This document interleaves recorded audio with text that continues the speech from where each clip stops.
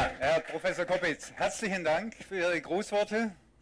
Und ich glaube, damit bleibt uns nur noch ganz offiziell das Gebäude zu eröffnen. Mit Handschlag. Mit Handschlag und wünschen dem Gebäude alles, alles Gute. Es ist mir eine große Freude, das Bosch Headquarter heute hier in Wien zu eröffnen. Wir haben hier ein fantastisches Gebäude, ein sogenanntes Blue Building. Das ist die Erweiterung eines Green Buildings. Hier stehen vor allem unsere Mitarbeiter im Vordergrund.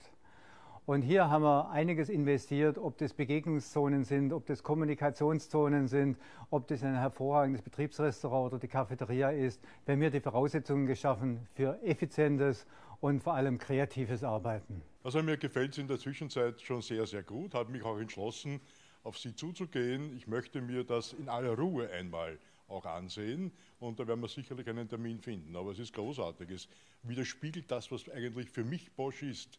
Äh, nämlich äh, mich begleitet Bosch, so wie jeden anderen Wiener auch, äh, das ganze Leben eigentlich. Nämlich wer hat keine Küchengeräte daheim von Bosch oder kein Gartengerät oder was auch immer. Und das muss man mal wirklich anschauen, was hier passiert. Das ist großartig. Wir haben hier in Österreich 2600 Mitarbeiter beschäftigt mit 850 Millionen Euro Umsatz. Und Bosch Wien spielt eine besondere Rolle im Konzern, denn wenn wir den Vergleich anstellen, wir haben hier äh, in Österreich etwa 0,1 Prozent der Weltbevölkerung. Wir stellen 1 Prozent der Bosch-Mitarbeiter, aber wir stellen 2 Prozent des Bosch-Umsatzes. Von der Seite ist die Bedeutung von Bosch in Österreich überproportional innerhalb der Bosch-Gruppe. Und da freuen wir uns besonders. Natürlich ist das ein hervorragendes Zeichen dessen, was wir wollen. Wien will Wissensstadt werden.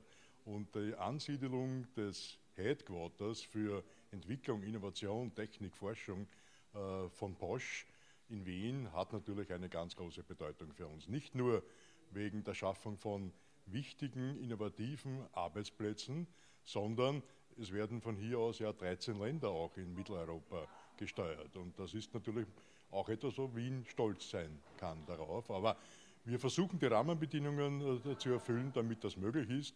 Und Bosch, seit 115 Jahren übrigens in Wien, äh, hat das genützt und darauf sind wir stolz.